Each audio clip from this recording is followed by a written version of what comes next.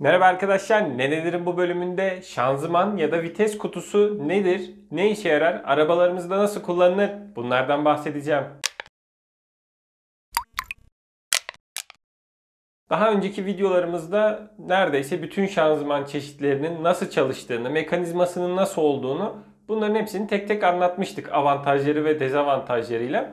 Bu videoda anlatacağım şey ise şanzıman neden var, ne işe yarıyor, arkasındaki fizik ne bunları anlatacağım. Çünkü özellikle bazı videoların altındaki yorumlarda görüyorum işte benim araba 5 vites 200 km saat hıza çıkıyor. Bir 6'yı taksam 250 görür falan gibi böyle olayın özünü yanlış anlamış yorumlar görüyorum. Eğer siz de böyle düşünenlerdenseniz videoyu sonuna kadar izlemenizi tavsiye ediyorum. Şanzıman ister otomatik olsun, ister tam otomatik, ister çift kavramalı, ister DSG, ister manuel ne olursa olsun özünde yaptığı şey aynıdır. Sadece bunlar çeşitlerini belirtiyor. Mekanizması biraz farklı ama özünde yaptığı şey hep aynı. O da motorun çalışabileceği devir aralığıyla sizin gitmek istediğiniz hız aralığını eşleştirebilmek. Bunu da daha iyi anlamak için bu videoda öncelikle temel fiziğinden bahsedeceğim.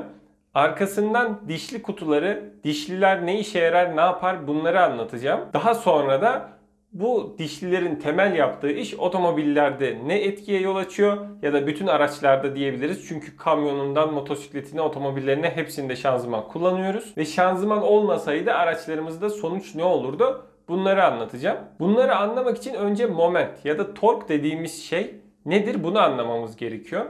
Bunun da aslında tanımı döndürme kuvveti olarak düşünebiliriz. Yani bir cisme uyguladığınız kuvvetin döndürmeye olan etkisidir. Fiziksel olarak da formülü uyguladığınız dik kuvvet çarpı uyguladığınız kuvvet koldur. Tamam peki bunlar ne demek? Bunu hemen basit bir örnekle düşünelim. Elinizde bir İngiliz anahtarı var ve bir somunu açmaya çalışıyorsunuz. Taktınız, çevirmeye çalışıyorsunuz, çalışıyorsunuz. Gücünüz yetmiyor. Peki bunu yapmak için ne yaparsınız? ya daha uzun bir İngiliz anahtarı kullanırsınız ya da o İngiliz anahtarına bir boru sokup o şekilde kolu uzatarak çevirmeye çalışırsınız. Ve bu şekilde daha kolay bir şekilde çevirebildiğinizi görürsünüz. Az önce açamadığınız o somun, civata her neyse artık aynı kuvveti uyguladığınızda kolaylıkla açılabilir. Moment ya da tork işte burada devreye giriyor.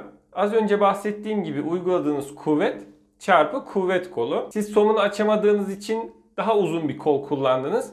Gücünüz hala aynı. Bir anda güçlenmediniz. Ama kolu uzattığınız için moment artmış oldu. Örneğin iki katı uzun bir kol taktıysanız iki katı moment üretmiş oldunuz. Bu tarz uygulamaları da hayatın her yerinde aslında kolayca görebilirsiniz.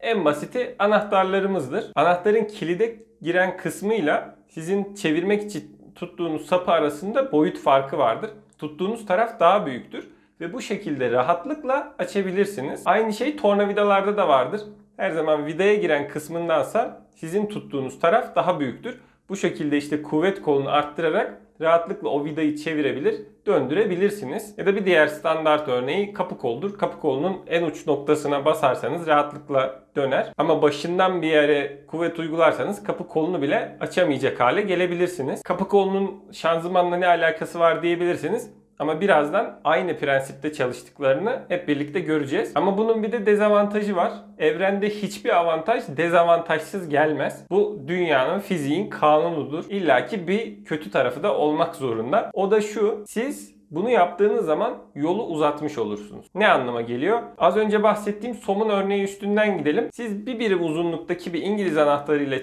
90 derece çevirdiniz somunu. Bir de aynı şekilde iki katı uzunluktaki bir İngiliz anahtarı ile çevirdiğinizi düşünün. İkisini de 90 derece çevirdiniz ama uzun olan, iki kat uzun olandaki çevirdiğiniz mesafe kısa olanın da iki katıdır. Yani moment kolunu ne kadar uzatırsanız o kadar fazla döndürmeniz gerekiyor anlamına geliyor. Tabi bu gündelik hayat için çok önemli olmayabilir ama motor gibi bir şeye bağladığınız zaman bunun önemi ortaya çıkacak. Peki dişliler neden var? Onlar ne yapıyor? Aslında bu az önce bahsettiğim momente arttırıp azaltma işini dişlilerle yapıyoruz motor gibi döner elemanlar için. Çok ilkel bir dişli seti düşünürseniz aslında o dişli az önce bahsettiğim gibi bir moment kolu içeren basit bir çubuktan oluşur aslında. Şekline çok takılmayın. Özünde yaptığı iş bu. Şimdi de bir dişli seti düşünelim. Bir küçük dişlimiz bir de büyük dişlimiz olsun. Ve küçük dişliyi motor gibi bir kaynakla döndürdüğümüzü varsayalım. Küçük dişli de doğal olarak büyük dişliyi çevirecek. Böyle küçük dişliye bir şaft bağladık. Onunla döndürüyoruz. Döndürdüğümüze göre doğal olarak şafttan gelen bir kuvvet var. Bu kuvvet de aynen diğer dişliye aktarılır. Şimdi diğer dişliye aynı kuvveti aktardık ama o daha büyük bir dişli. Yani merkez noktasına göre moment kolu biraz daha uzun. Artık o dişlide çok daha büyük bir moment üretiyoruz. Ama bunun dezavantajı tabii ki ne? Büyük dişliye baktığınız zaman küçüğe göre daha yavaş döndüğünü görebilirsiniz. Ve bu oran da direkt olarak yarı çaplarıyla doğru orantılıdır. Yani bir birimlik küçük dişliniz var bir de iki birimlik dişliniz var. Torku iki katına çıkartırken hızı yarıya düşürürsünüz. Şanzımanın ya da dişli kutusunun yaptığı şey de tam olarak budur. Daha fazla tork üretip hızı azaltmaktır. Bu seferki örneğimizde asansör olsun. Asansörümüz 4 kişi taşıyabiliyor olsun ve de 2 saniyede bir kat çıkabiliyor olsun. Ama biz farklı bir asansör istiyoruz. Yani bu o kadar hızlı gitmese de olur ama daha fazla kişi taşımak istiyorum derseniz az önce bahsettiğim gibi bir küçük bir de onun iki katı büyüklüğünde bir dişliği bağlayıp asansör ipinde büyük dişliğe bağlarsanız artık bu asansör 8 kişiyi taşıyabilir ama 2 saniye yerine 4 saniyede bir kat çıkar. Yani hızı yavaşladı ama yük kaldırma kapasitesi arttı. Otomobilimizde de yaptığı şey tam olarak budur. Farklı dişlilerde yani birinci vites, ikinci vites dediğiniz sürece bu dişlilerin oranı değişir. Bu da size ne avantaj sağlar? Eğer yük gerektiren bir koşuldaysanız örneğin arabanız 5 kişi arkaya da bagaja da doldurduğunuz eşyaları bir rampa çıkmanız gerekiyor.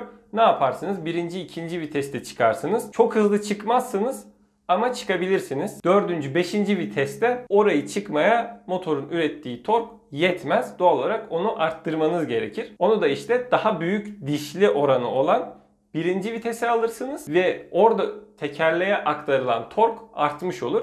Az önceki asansör örneğimizdeki gibi motor kaynak asansörde aslında sizin tekerleğiniz.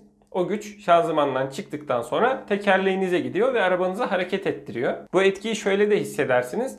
Arabanız ya da motosikletiniz birinci viteste kaldırıp gaza bastığınız zaman böyle sizi arkaya yaslar. Hızlanmanız fazladır.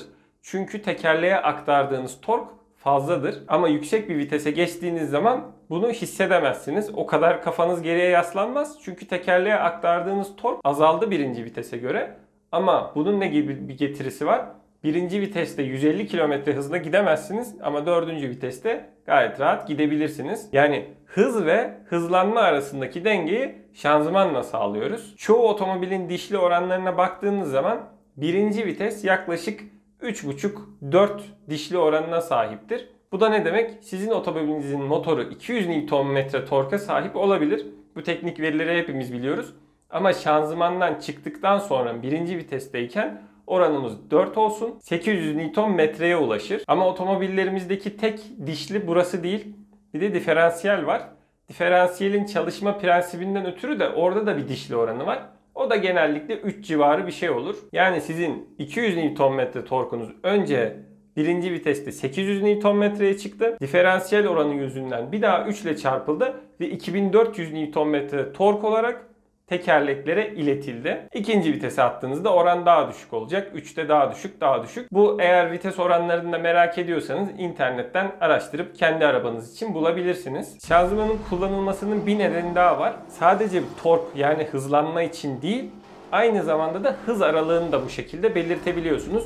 Hız ve hızlanma demiştik. Bunun arasındaki dengeyi kuruyorsunuz. Günümüzde normal bir içten yanmalı motor rölanti devri yaklaşık 1000 devre yakın oluyor. Daha düşük oluyor ama biz kabaca bir hesap için 1000 diyelim. Eğer ki siz arabanın tekerini direkt motora bağlasaydınız ve 1000 devirle dönseydi standart bir otomobil için yaklaşık 115 km bölü saat hızla gidebiliyor olmanız gerekiyordu rölanti hızında. Arada herhangi bir dişli kutusu bir çevrim olmadığı için doğrudan bağladığınızda çok hızlı gitmeniz gerekiyor. Halbuki bizim öyle bir isteğimiz yok. Ben birinci vitese takıp 20 ile 30'la gitmek istiyorum. O yüzden torku katladığınız gibi o motorun çalışma aralığında hızı da düşürebilmiş oluyorsunuz. Aynı işte son hıza ulaşmak için vites büyüttüğünüz gibi. Hemen akıllarda şu soru canlanacak tabi bunları anlatınca. E tamam benim araba 5 vites ben bunu 6'yı 7'yi taktırsam bir şekilde yapsam o dişli oranını küçültsem ya da işte diferansiyelle oynasam o benim araba 200 değil de 300'e kadar çıkar o zaman diyebilirsiniz. Hayır maalesef son hız arabanızın beygiri ile alakalıdır. Maksimum beygir gücünüz neyse sizin son hızınızı o belirtir. Yani 100 beygir bir arabanız var. Maksimum 200 km saate çıkıyorsunuz diyelim.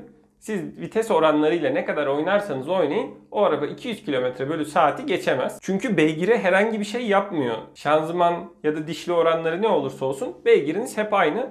Sadece tork ve yol arasındaki bağlantıyı kuruyorsunuz. Dişli oranlarını değiştirerek 0-100 hızını değiştirebilirsiniz. Daha hızlı çıkabilirsiniz ya da daha geç çıkabilirsiniz. Daha yavaş hızlanabilirsiniz.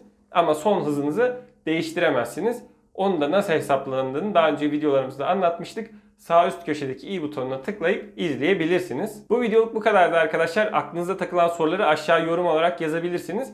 Ayrıca kanalımızı beğendiyseniz abone olmayı ve bildirimleri açmayı da lütfen ihmal etmeyin. Anlatmamızı istediğiniz diğer konular varsa onları da yorum olarak bırakabilirsiniz. Bir sonraki videoda görüşmek üzere. Şimdilik hoşçakalın.